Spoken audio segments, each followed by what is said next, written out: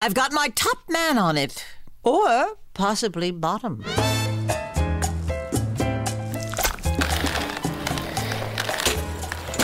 Mamá, tengo que irme.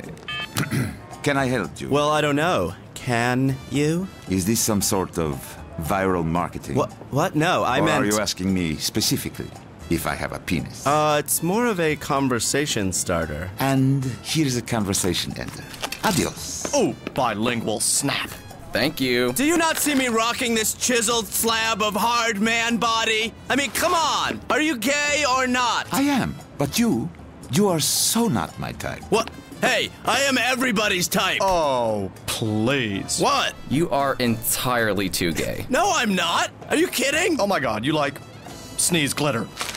Thank you.